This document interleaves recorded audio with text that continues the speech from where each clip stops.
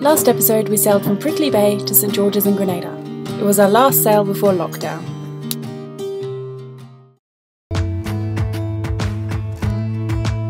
Almost two years ago, we left it all behind for a chance at the sailing adventure of a lifetime.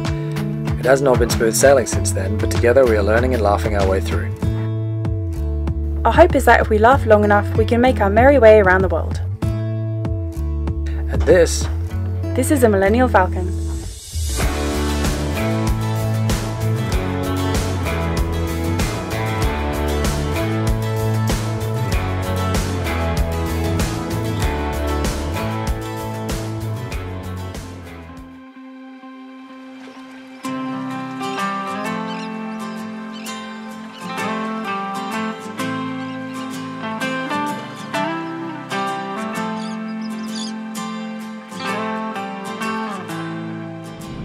Okay, so today is Monday, and we arrived yesterday into St George's. It's a really nice sail, actually. It's very lovely.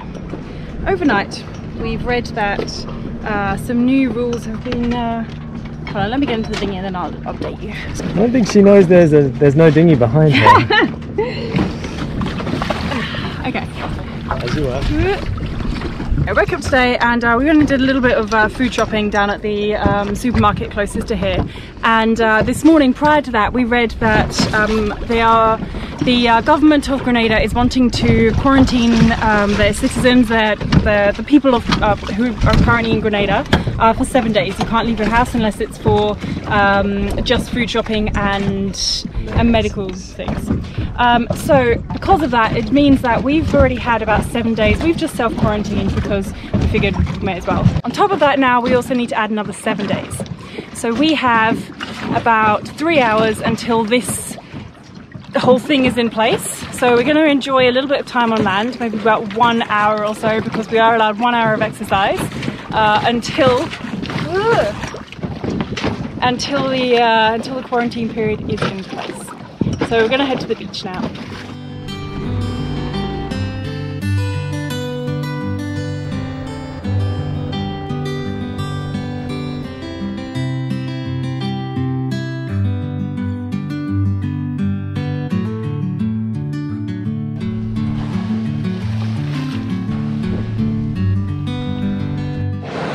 Five feet, five feet, five feet.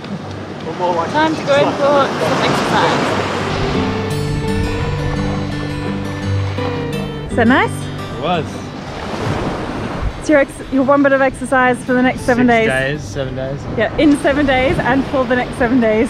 Still exercise on the boat. We'll just have to get a bit creative. We're gonna make a whole episode out of creative ways to replace gym equipment with your boat. Not a bad idea actually. That's a good idea. A sail, pretty much. What are we doing now? Uh, go back to the bar, the barbecue. That's what we're doing. We're going back to the boat and uh, grill up some chicken. Have a, have a, a, a deck barbecue. We haven't had any meat in a few days. So.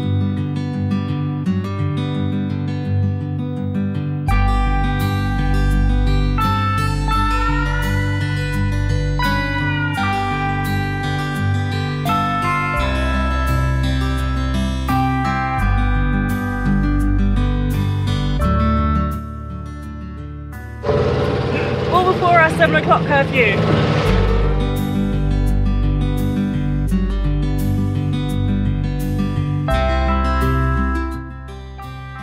Day 1, commencing in 29, 28 minutes.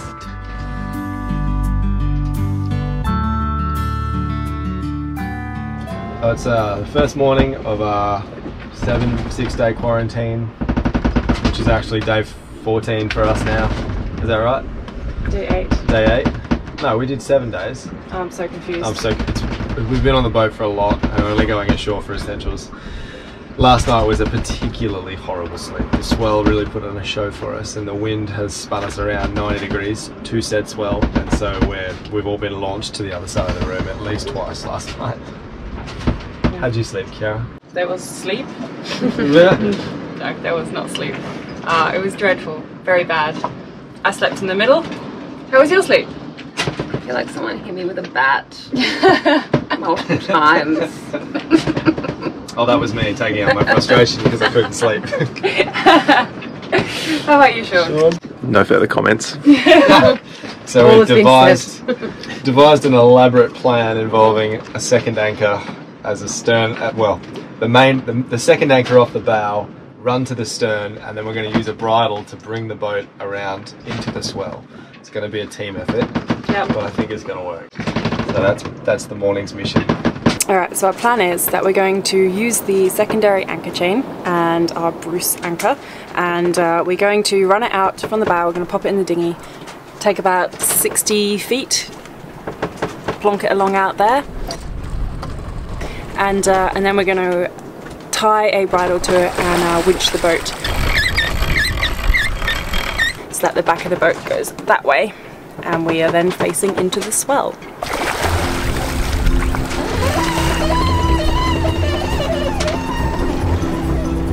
guessing that um, the anchor isn't far out enough for us to point the boat to wind and at the moment we're just managing to like move the front of the boat and that's kind of it. So we really need to have like opposites for the anchor. The front of the bow anchor's here, the stern anchor's there. And I think at the moment the stern anchor's there so we're not able to get ourselves around enough. It still needs to be further out. Let's do that. Chain back in. Yeah, Sean, do you want to jump in the dinghy and come around?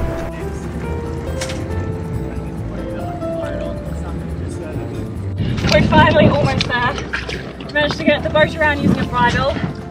So now the existing anchor blocking us from moving the bridle any further. So now we need to go and do that.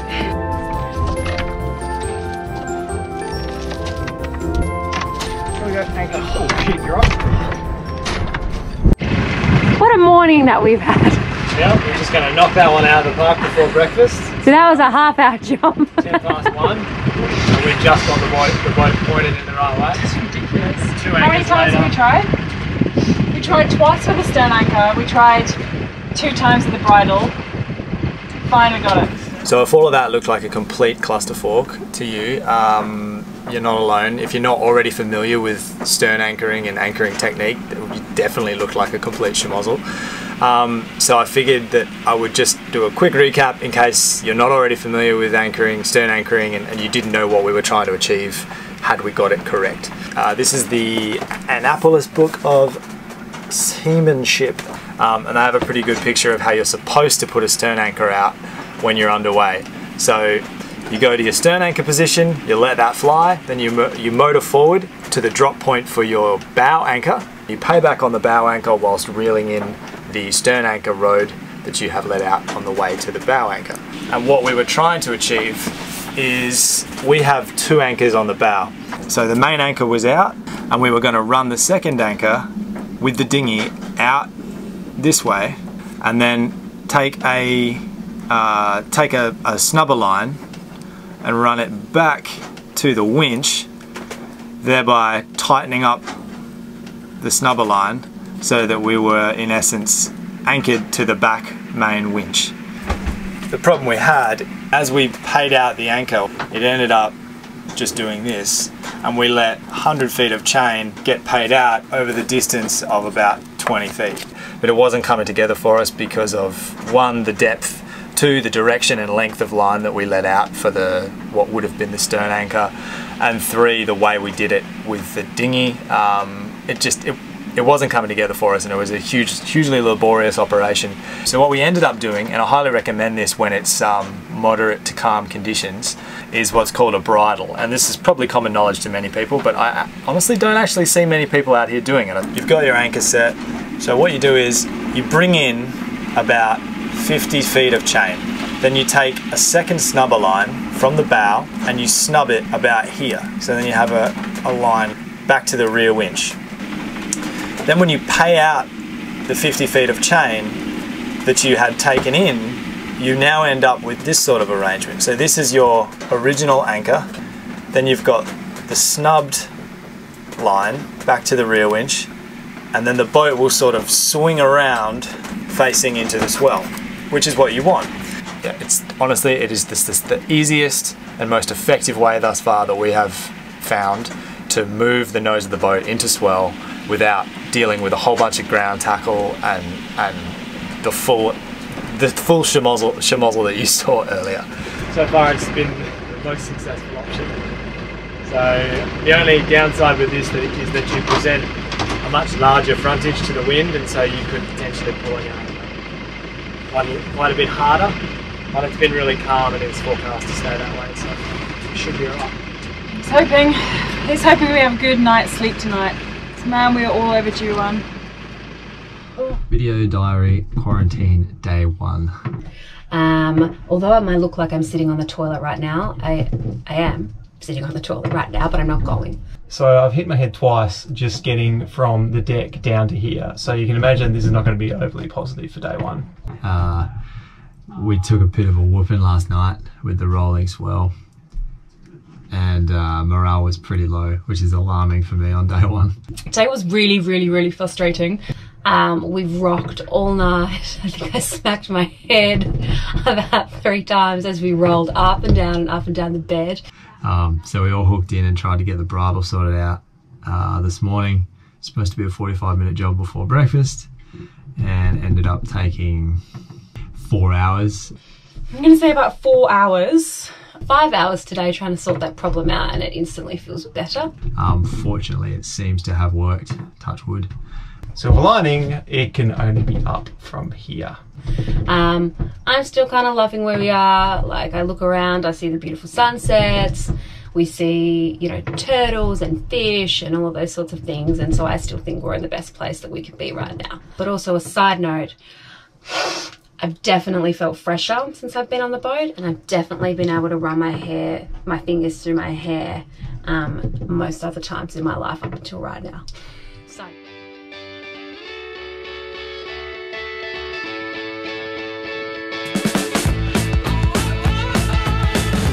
Alright, so in an effort to raise morale, we're playing poker. But it's been decided that we all need to have a costume of at least two items. Two items. Yeah. Alright, let's go. I've got to keep this straight. I am Miss Mythical tonight. My name is Ivy. Ivy will win. I'm Safari Sam. I'm Seedy Sean. I give nothing away. This is our money for the evening.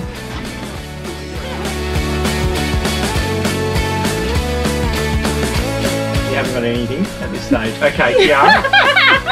so Khiara wins. I wasn't even bluffing. I thought I was playing.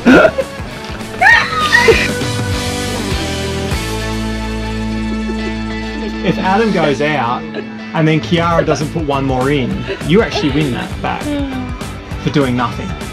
So when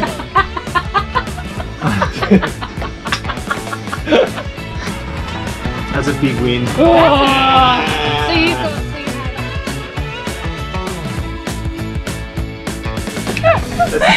A celebration of a lady who got a full house and didn't even know it.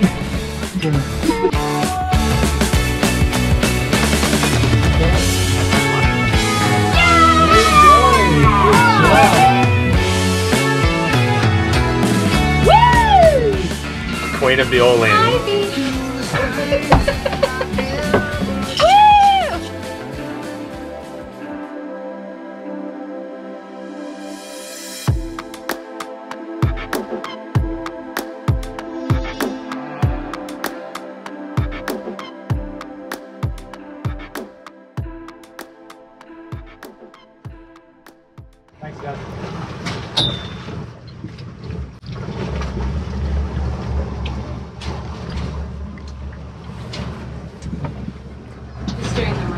round. Uh, that's like they're trying to trip me up.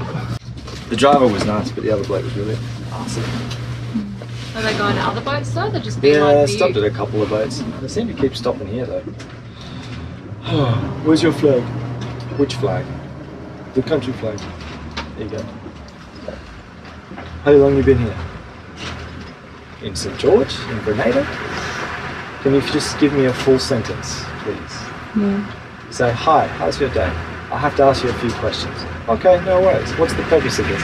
Oh, we're just checking up on everyone, making sure what's going on. Yeah, exactly. Not like, where's your flag? How long you been here? It's like, I'm trying to do the right thing here, mate, but you're not making me want to do what you say. Isolation day two, better than day one, yet to hit my head. Um, what can I say about day two? Two wasn't really that eventful, if I'm honest. We watched a fish race, which was quite funny. Probably a highlight of not only today, but probably the whole trip. We saw a little fish getting chased by a big fish, like out of the water. They were swimming, they were darting across the front of the boat. They came towards us, and as they disappear out of sight, you just hear this. One of the fishes crashed into the side of the boat, which I've never seen happen before, but that was good to watch. Um, we also played poker last night for a little bit of fun. We got all dressed up. Yours truly won after never actually having played poker before. I should probably try and be more productive tomorrow. I, but I swear I also said this yesterday, so Just try to keep positive, try to keep productive. We had another little visit from the Coast Guard today. I'm frustrated by the lack of adherence to the quarantine. I wake up in the morning and there's boats just going every which way, like nothing's going on. And here we are, sat here, just twiddling our thumbs, trying to stay positive when no one seems to be listening. To boot, we get a daily visit from the Coast Guard, who's becoming progressively less friendly. So I expect them tomorrow to pick on another thing. First day it was my, my cruising flag, uh, courtesy flag. Second day it was my nation flag wasn't upright. Um, so we'll see what tomorrow brings.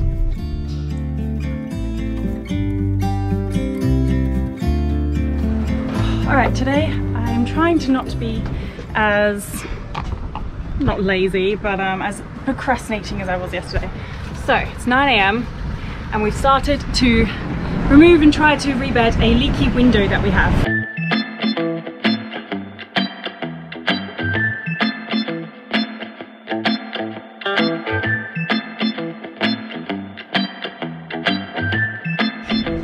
How many headbangs on the light is that today? Two. Two already.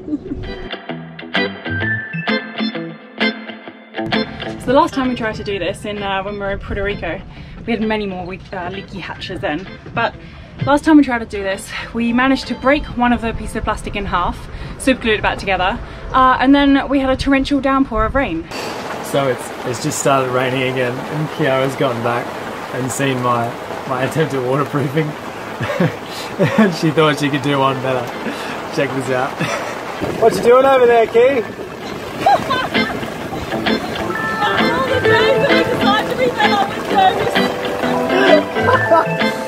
Um, but today, today I, am prepared. I checked the weather forecast, it's not meant to rain. And I was very, very slow and steady and it's all come out in one piece. Let's hope now we can actually put it back in one piece too. All right, beautiful tape is on.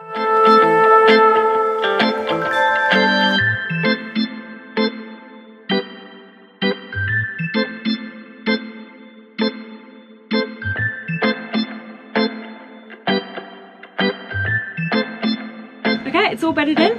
Uh, Beautiful tape did its job and we cleaned it up.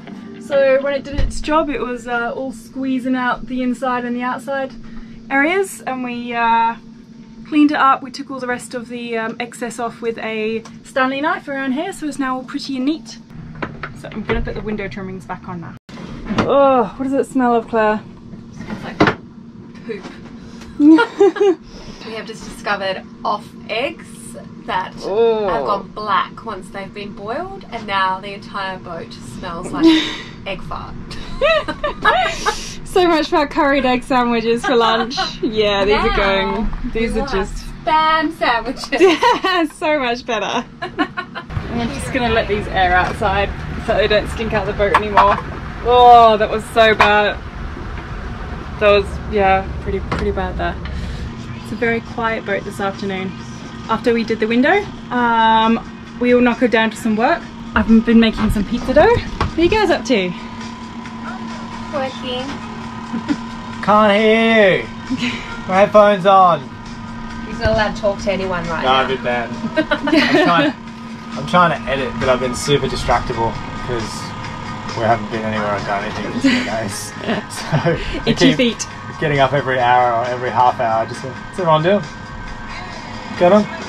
and everyone's banned me from talking or moving around, so I'm trying to force myself to edit. Get back to work. Other than that, it's a good day. We are getting stuff done today. This is good. Pizza for dinner.